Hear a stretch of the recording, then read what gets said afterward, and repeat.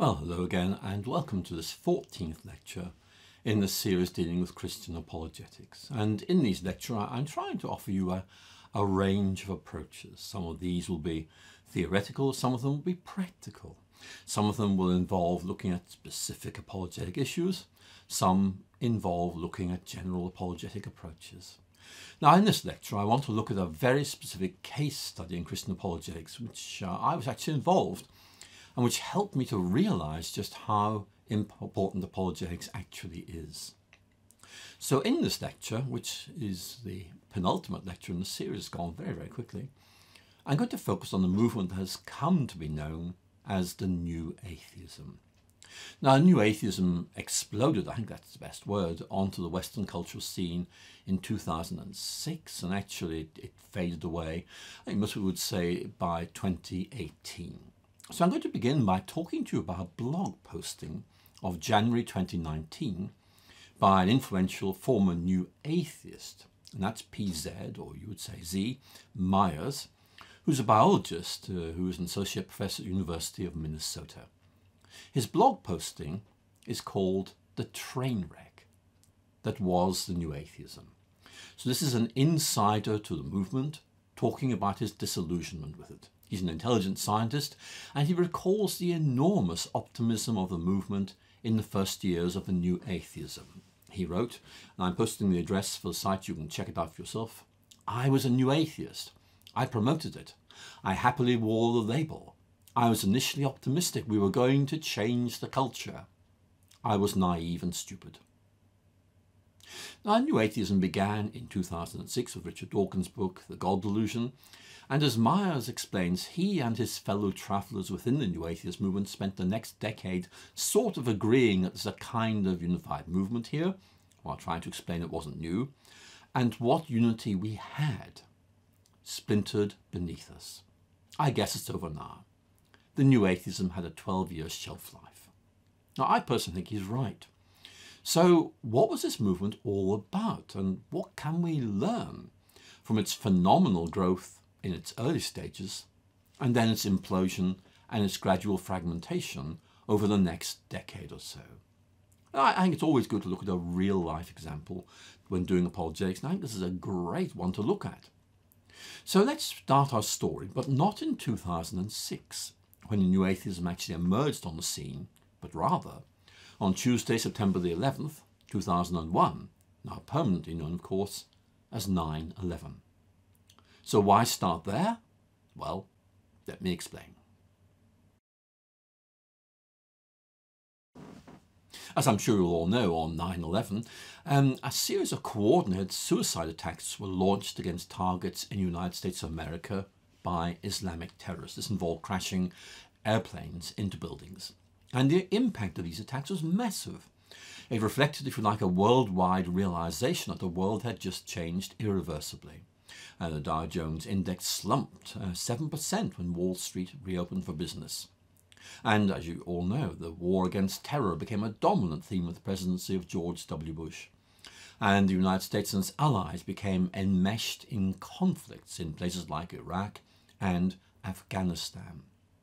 But the important point to appreciate is a public anxiety about the deadly consequences of religious fanaticism began to reach new levels. Now, Richard Dawkins and others have been arguing for years that religion was irrational and dangerous. Actually, people hadn't really paid all that much attention to him. But suddenly, these arguments seemed plausible, they seemed attractive, and actually they seemed deeply relevant given the crisis that people felt was engulfing the West.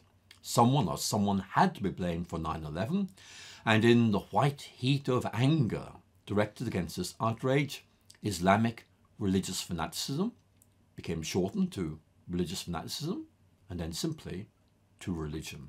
Religion was the enemy of the West. Now, I know that sounds terribly simplistic, but I want you to understand that this kind of process was going on in people's minds. Religion is dangerous. It's dangerous because it bases itself on faith, which cannot be proved. And Dawkins would play a critically important role in this change in cultural mood because 9 11 confirmed everything he had always believed. Religion was dangerous because it was irrational, and when it failed to win arguments, it resorted to terror instead. Four days after 9 11, Dawkins wrote in a British liberal newspaper, The Guardian, these words To fill a world with religion or religions of the Abrahamic kind is like littering the streets with loaded guns. Don't be surprised if they are used. that's an incendiary comment. I think people now feel very, very awkward about that, looking back on it. But 9 11 turned out to be the intellectual and the moral launch pad for the new atheism. So, how did the movement get its name? What was new about it? Well, the term New Atheism was actually invented by a journalist, in this case Gary Wolf, back in 2006. And he was writing an article for a British magazine aimed at, and I quote, smart, intellectually curious people who need and want to know what's next. And Wolf was looking for a snappy slogan to refer to a group of three people who'd attracted media attention through best-selling books advocating atheism. Richard Dawkins, Sam Harris, and Daniel Dennett. Christopher Hitchens, by the way, came on the scene a year later. And Wolf hit on the phrase the new atheism to designate this messianic advocation of atheism linked with a scathing criticism of both religious belief and cultural respect for religion. So I guess you want to know what is new about the new atheism. Well, as many people have pointed out, actually, there wasn't really all that much in terms of its intellectual roots. It simply recycled older arguments. And this became particularly obvious from 2007 when the movement gained a new crusader in the form of Christopher Hitchens. And the phrase the four horsemen, borrowed of course in the book of Revelation, began to, use to be used to refer to these writers who rapidly assumed celebrity status and are now collectively seen as the intellectual and cultural spearhead of the new atheism. But again, what was new about his ideas? Well, they weren't new. Uh, Bruce De Silva of the Associated Press wrote these words after reading God is Not Great, which of course is Christopher Hitchens' uh, major work. He writes, Hitchens has nothing new to say, although it must be acknowledged he does say it exceptionally well. My point is, New Atheism simply recycles older ideas that have been around since the 18th century. So nothing new there. But what was new, and what I would suggest to you is actually the defining characteristic of New Atheism, is its rhetoric of ridicule and vilification, and its preference for attention grabbing headlines rather than careful intellectual arguments. And I'll come back to that later in this lecture.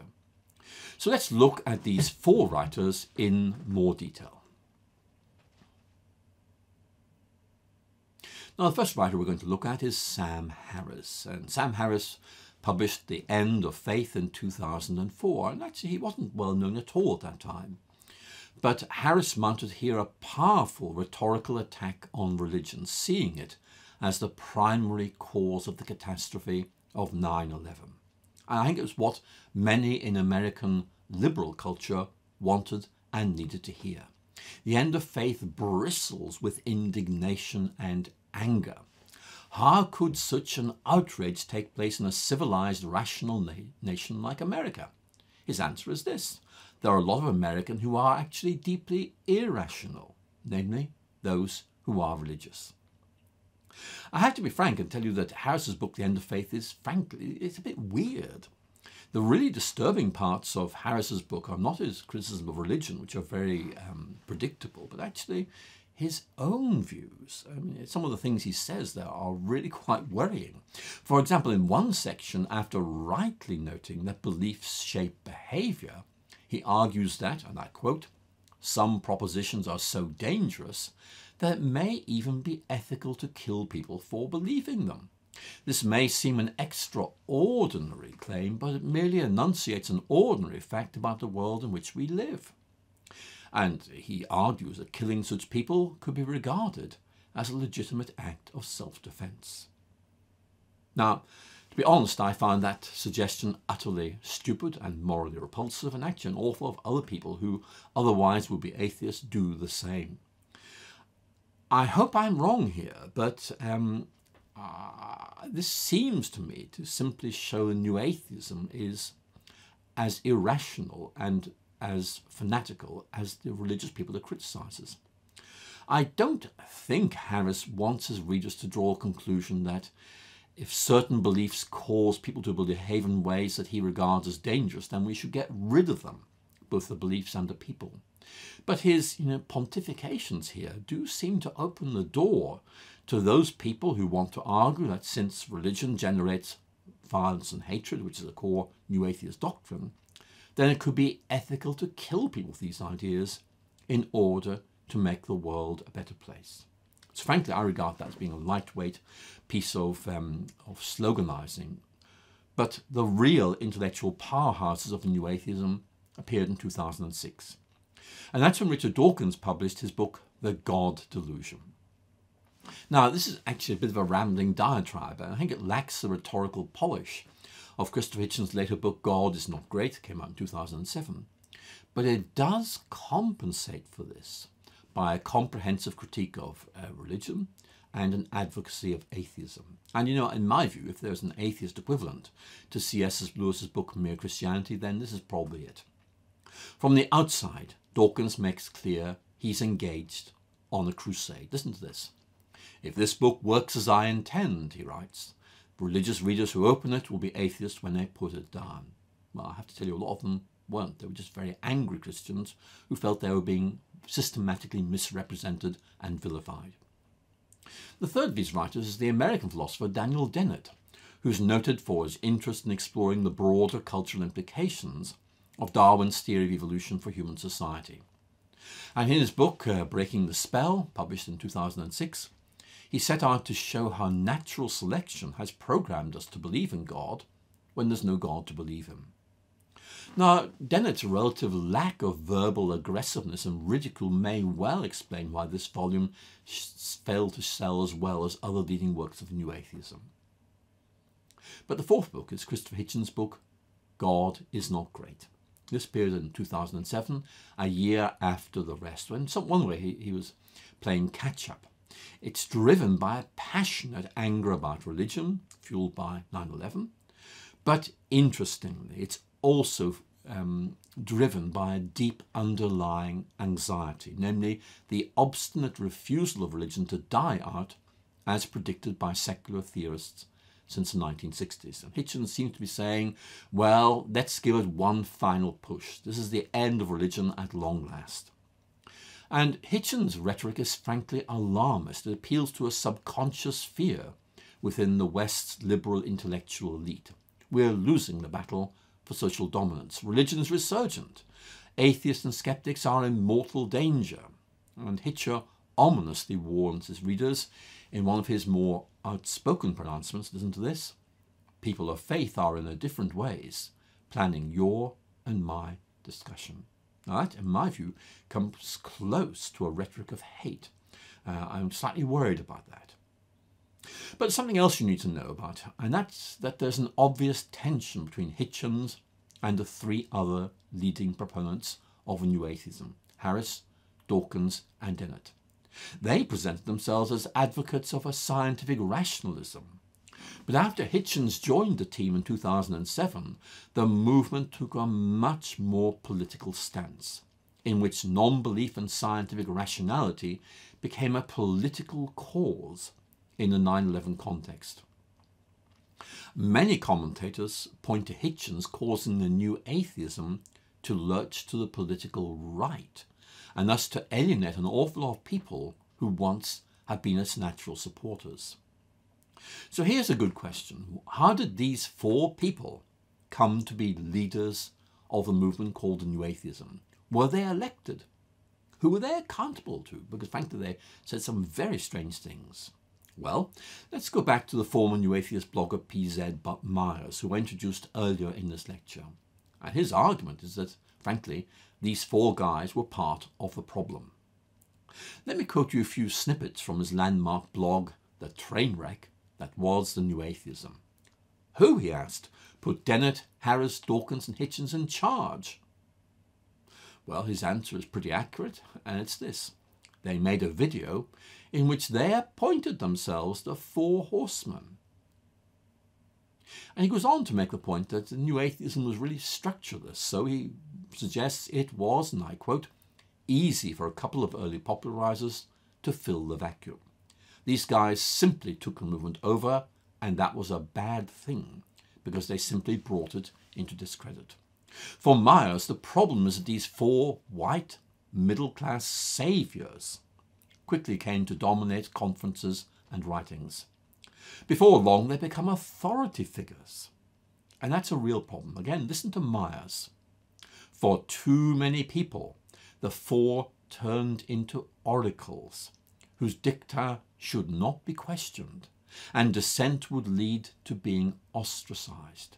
It only took a year to build a cult of personality. And for Myers, a new atheism quickly morphed into a kind of right wing populism, fired up by anti Muslim rhetoric, especially in the writings of Harris and Hitchens. And Myers' final verdict is this. He says the new atheism ended up, as I quote, a shambles of alt right memes and dishonest hucksters mangling science to promote racism, sexism, and bloody regressive politics. So that's a disillusioned new atheism, talking about where it went wrong. And I want to ask what we can learn from this episode apologetically. What can we learn from its rise in 2006 and its fall in 2018? Now, as I've already noted, the, the launch pad for the movement was a fear of religious extremist violence which led New Atheist writers to argue that religion was intrinsically predisposed towards violence. It wasn't an accident, it is built into the nature of religion. And you know, you still hear this argument today. So let's explore this issue properly and see where it leads us.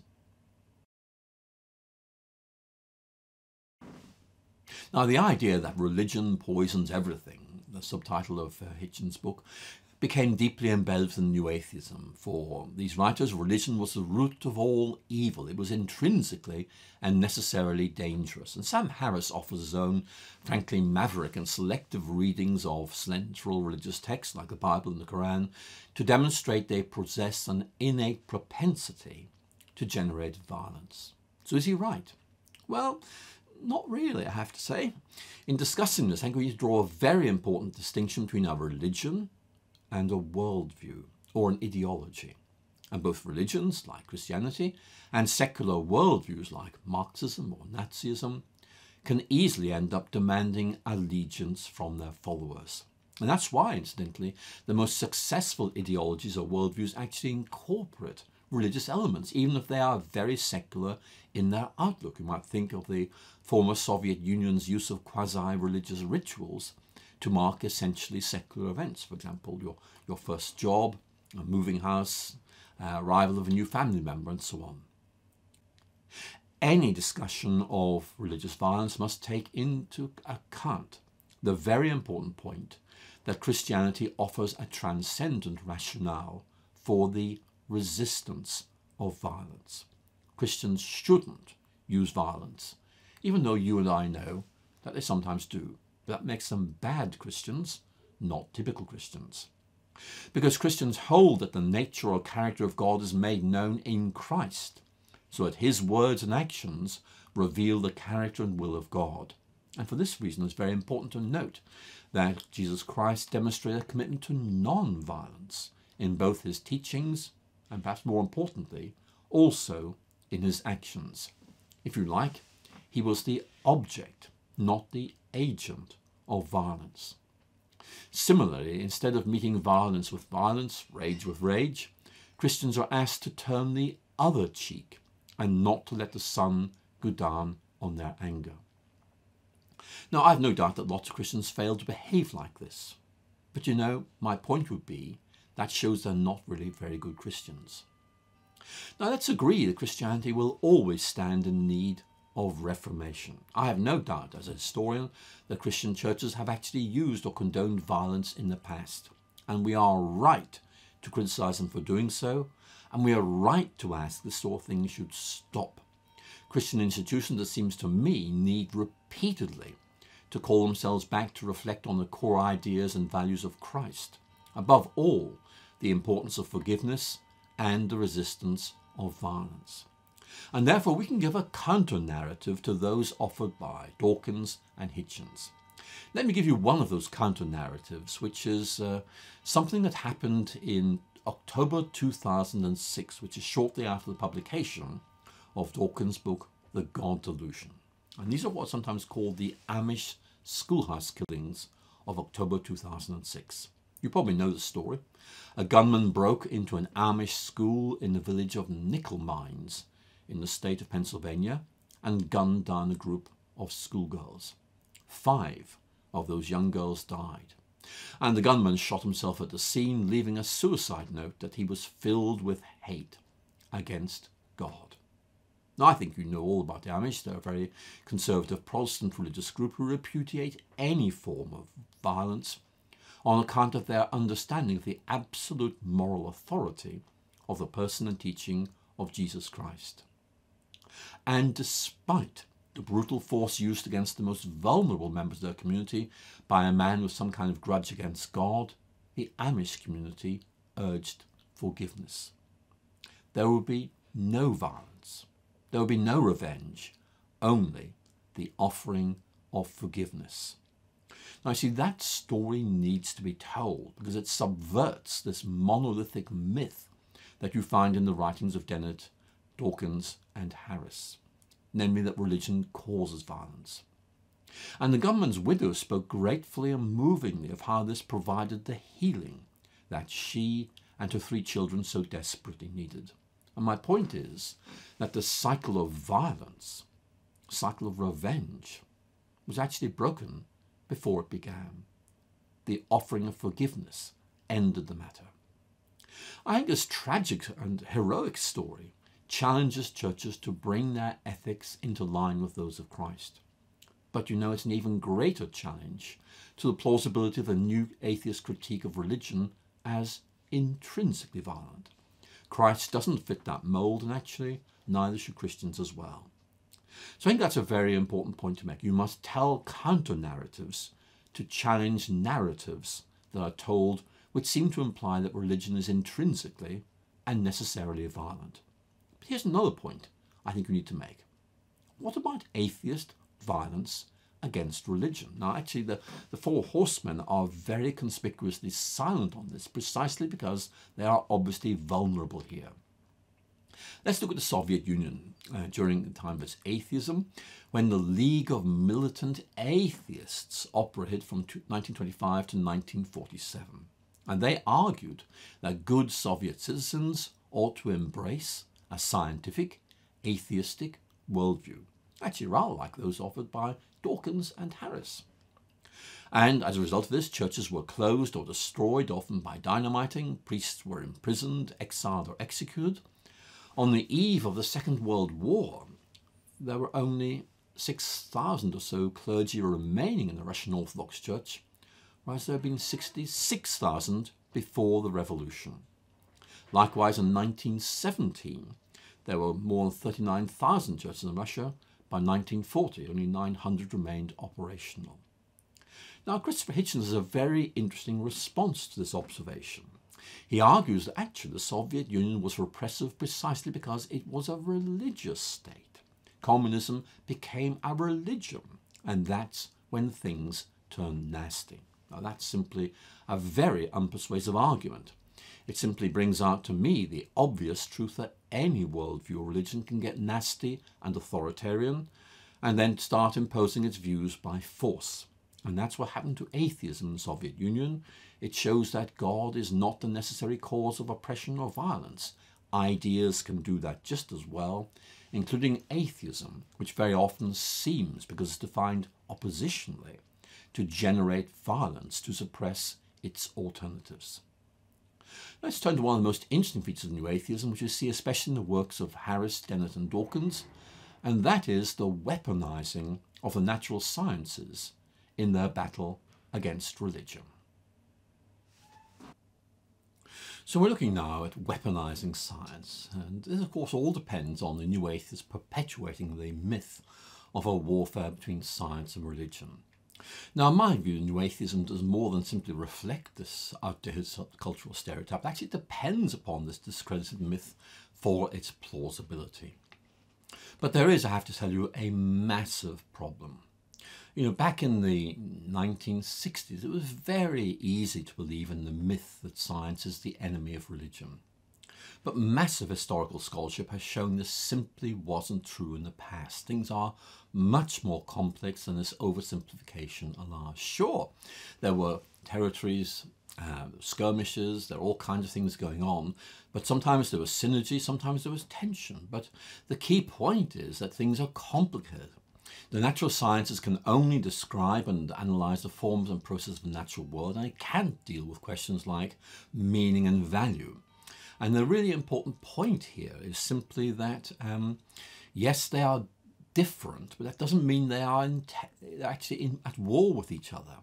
The cultural and intellectual authority of science depends on its absolute neutrality in matters of ethical or political or religious debates. I think that's a very important point.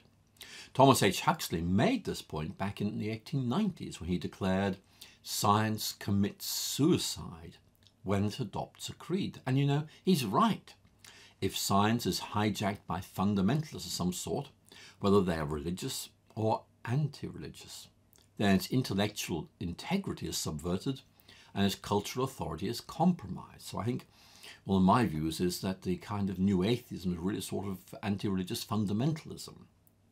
But here's another point.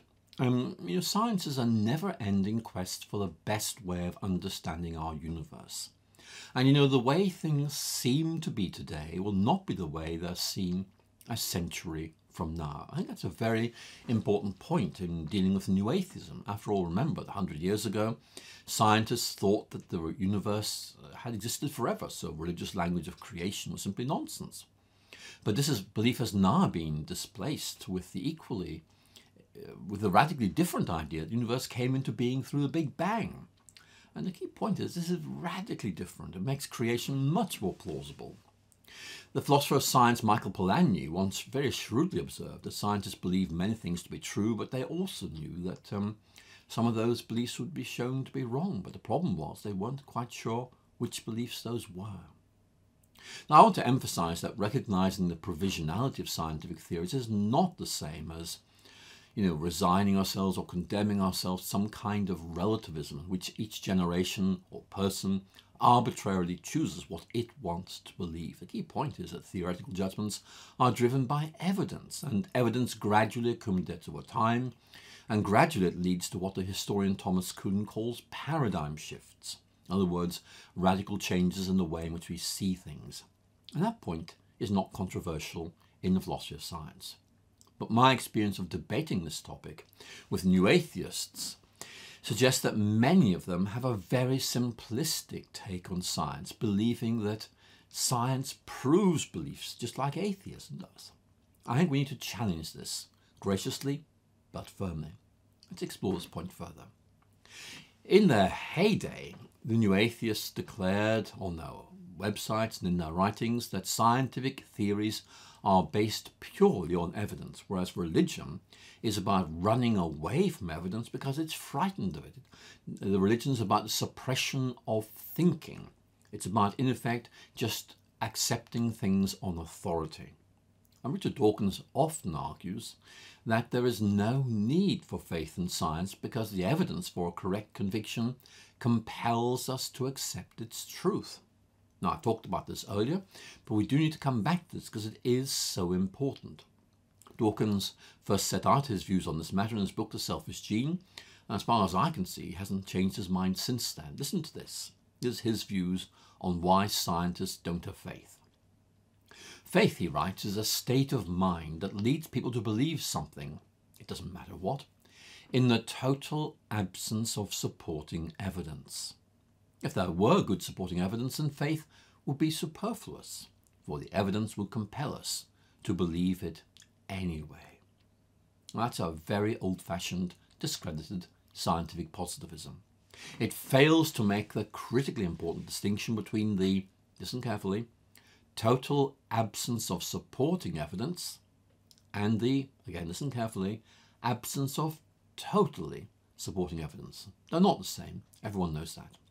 For example, let's think about the current debate within cosmology over whether the Big Bang gave rise to a single universe or lots of universes, the so-called multiverse hypothesis. Which is right? Well, you can't tell because the evidence is ambivalent. It points both ways and neither way. I have many distinguished scientific colleagues who support the former approach and equally distinguished scientific colleagues who support the latter. They're both real options for thinking scientists who will make their decisions on the basis of their judgments about how best to interpret the theoretical evidence. And whatever decision they make, they will believe that their interpretation is correct, but they can't prove it's right. So this process, which is, I have to say, typical of scientific thinking, just doesn't fit in at all well with Dawkins' bold and unsubstantiated declaration that if there were good supporting evidence, then faith would be superfluous, for the evidence would compel us to believe it anyway. That's just not right. Now, interestingly, Dawkins himself clearly believes in the multiverse theory. I think mainly because he thinks that this is less intellectually hospitable to the idea of God. But the evidence for it just isn't good enough to compel him, or indeed anyone else, to accept it. Science just isn't like that. And again, we need to make the point that in the rigorous sense of the word, proof really only applies to logic and mathematics. We, sure, we can prove 2 and 2 make 4. We can prove that the whole is greater than the part. But we have to avoid confusing provability with truth. Because as I'm sure you know, the great uh, mathematician Kurt Gödel famously proved that however many rules of inference we formulate, there will still be some valid inferences that are not covered by them. In other words, in plain English, there are some statements that are true that we may not be able to show are true. Now, I think this is a very important point to make, uh, and that's why uh, I think we need to highlight the fact that many standard scientific textbooks emphasize that science rests on faith. We make judgments we can't prove to be right. Sure, we have good reason for thinking they are right, but proving them that's a very different thing. Now, most people actually don't have a problem with this because they know that faith is just part of human life and it plays an important role in science as it does everywhere else, for example, in morality and in politics, and of course in religion. But the new atheism seems to have some kind of aversion to using the word faith. I think Richard Dawkins thinks it denotes some kind of intellectual perversity you only find with religious people faith, we're told by Dawkins, is blind faith. Well, no, it's not. Clearly, it's not. Belief is just a normal human way of making sense of a complex world where we have varying degrees of evidential support for beliefs. It's not a sort of a binary conclusion, one or zero, true or false.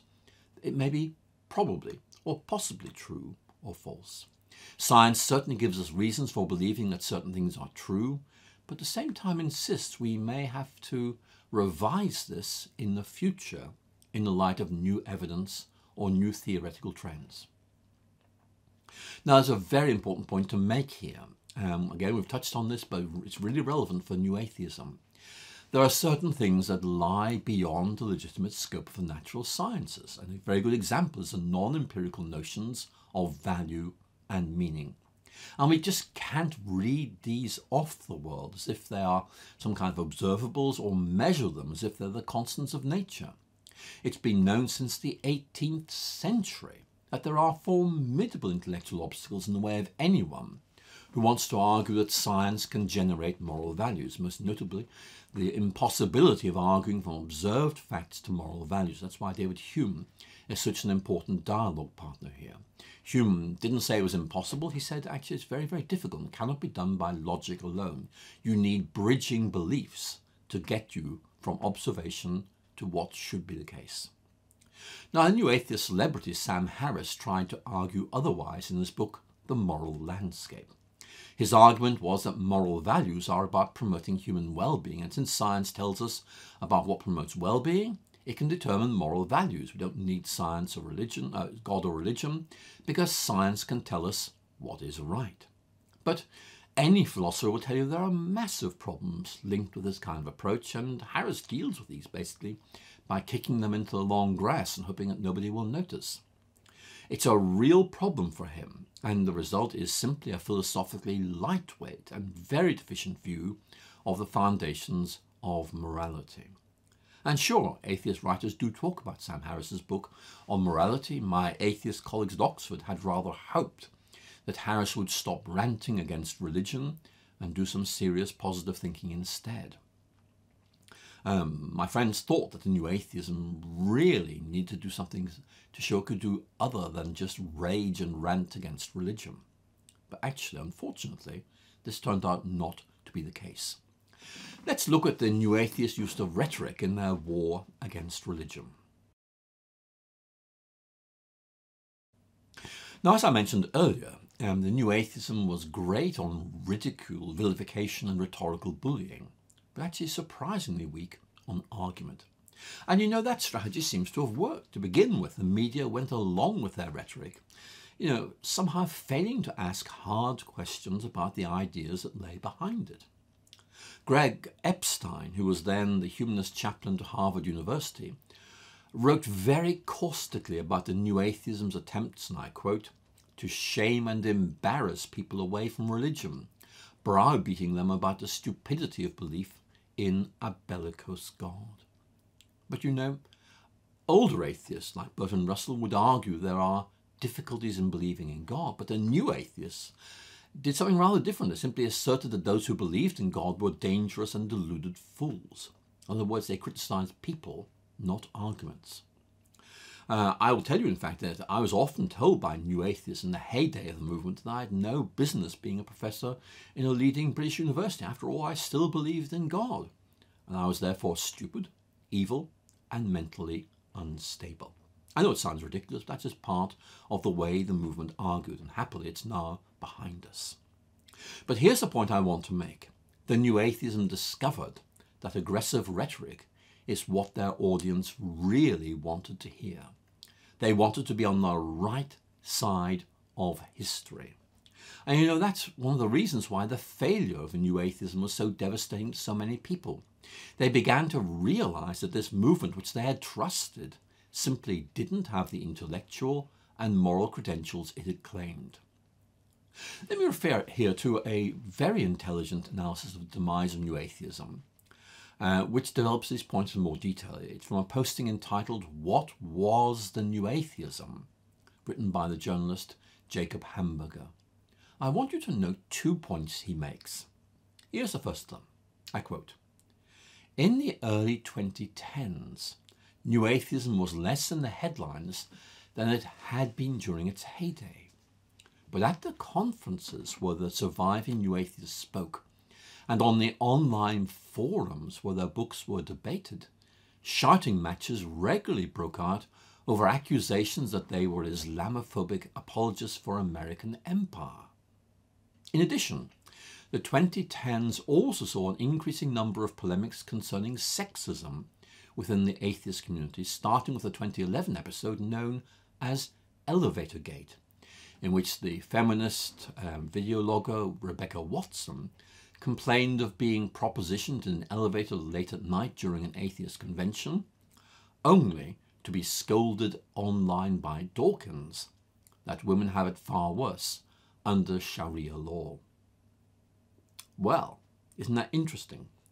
I think really what stands out from this analysis by Hamburger is that the new atheism's total focus on a rational and scientific atheism seem to have blinded them to everything else.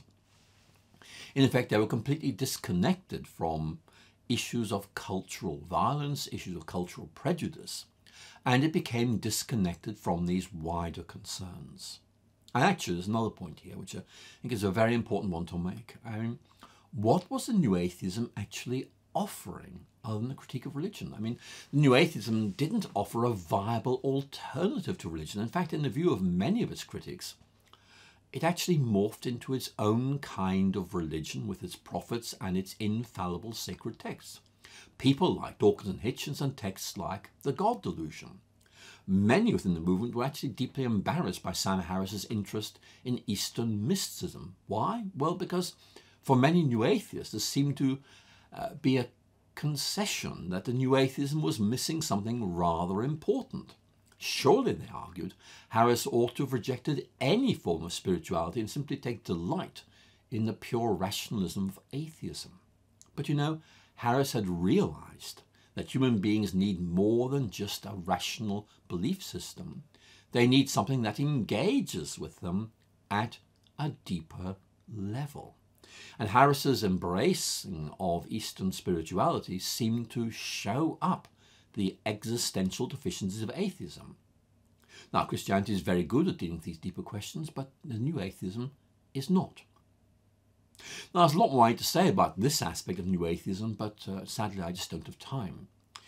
Instead, I want to do something which I think is even more interesting, and that is to reflect on you, with you, on what we can learn from the new atheism. It's not past, but I think we can learn from it. So, what can we learn from this interesting episode in Western cultural history, which is now so clearly behind us? Now, I'm going to tell you what I think, but I'm sure you'll have many more ideas that you'd like to add to what I have to say. First of all, for me, the new atheism offers a highly simplistic message, and this message clearly got through to its audience. Science proves its ideas, religion just makes them up and refuses to consider its evidence. There's only one way of dealing with this, and that is frankly to say this is simplistic nonsense. Science does not prove all of its ideas.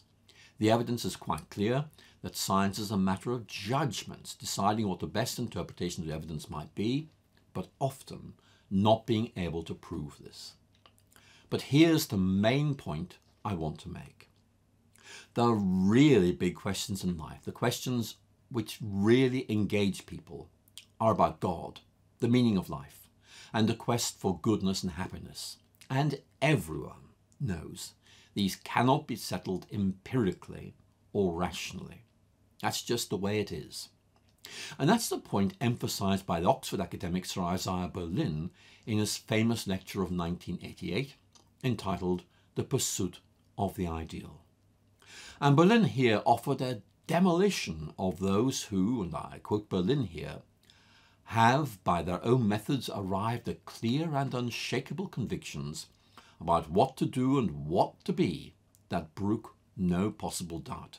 And Berlin was simply scathing about the foundations and the implications of this kind of intellectual arrogance, which amounted to little more than wish fulfillment. Let me quote from Berlin's lecture again. I can only say that those who rest on such comfortable beds of dogma are victims of forms of self induced myopia, blinkers that make for contentment, but not for understanding of what it is to be human. That's a very powerful criticism, and I think it's very important to see where Berlin takes this point. Because Berlin declared we had to recognize a plurality of rationally defensible understanding of human values, which were often inconsistent with each other raising the question of how you and I can live alongside those who come to quite different conclusions from us. And Berlin's experience of logical positivism at Oxford during the 1930s led him to conclude that while the scientific method is essential to our understanding of the natural world, we simply can't use it for fundamental questions of value and meaning. And Berlin's point is that while these values cannot be verified scientifically or logically. They are simply essential to human life and culture. Now, new atheists just don't get this. They see life in really simplistic terms. It's either their rather distorted form of scientific rationalism, which they argue is capable of delivering simple certainties about life, or it's about the random ramblings of religious people who run away from the evidence and refuse to think about their faith. Well, that's nonsense. What about people like C.S. Lewis, who thought about their faith and can easily undermine the credibility of their arguments, or Richard Swinburne, to give another? I think you and I need to challenge this evasion of reality. Religion is not like that. Neither are religious people. There are very good reasons, and they're better than the reasons provided by the new atheism. And here's another point. The new atheism offered a very simplistic criticism of religion, but actually had nothing to offer in its place. Perhaps I think because they realized that any positive suggestions they made could be criticized on precisely the same grounds that they criticized religion for peddling false and unprovable certainties. Now, there's much more needs to be said here, but I hope you found what I said helpful. I think the new atheism is really interesting as a case study and we can learn a lot from it. Look at the websites I've quoted, you'll get a lot of ideas from doing that. But now we need to move on, prepare to bring this series of lectures to a close. And in my final lecture, I'm going to be reflecting on how you can develop your own distinct approach to apologetics and put it to good use. So I look forward to speaking to you again very soon.